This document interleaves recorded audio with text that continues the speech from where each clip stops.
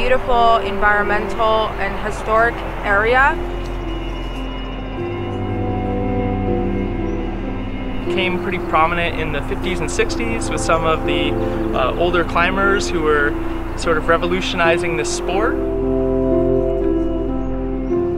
There's tons of climbing, hiking,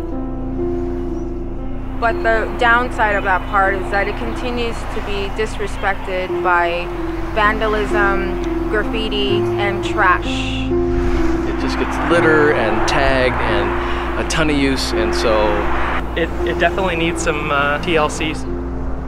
Today we're cleaning and beautifying Stoney Point.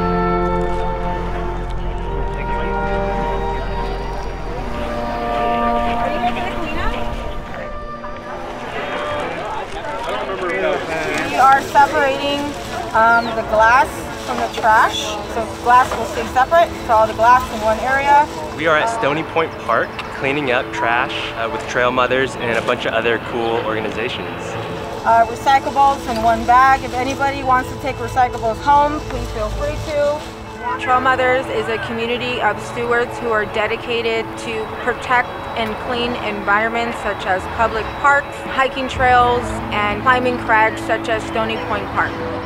We're focusing out here today on picking up trash and some of the illegal dumping that happens. Yeah, we are trying to inspire the community this way.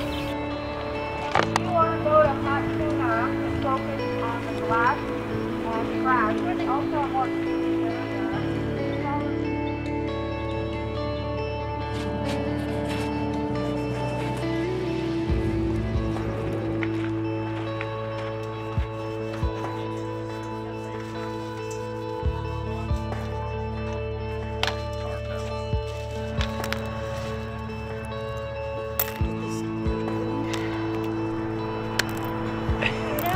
a more When I was a teenager, I would come here to hang out, and now I'm coming here to clean. So this feels like my backyard, and so when I see this, you know, treated this way, you know, I want to make a difference, and this was a great way to be able to get our exercise and give back at the same time.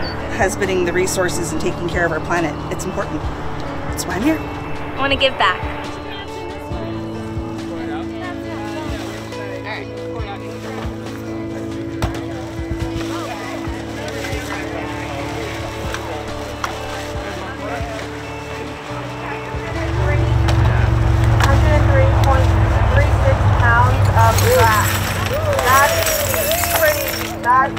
Awesome. Thank you so much.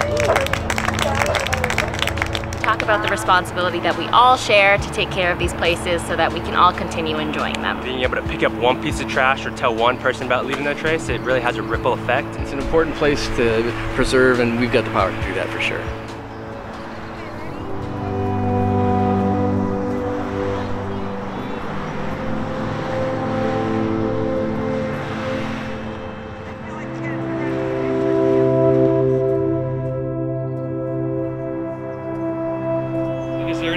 tell people that you haven't said yet? Clean up after yourselves, please.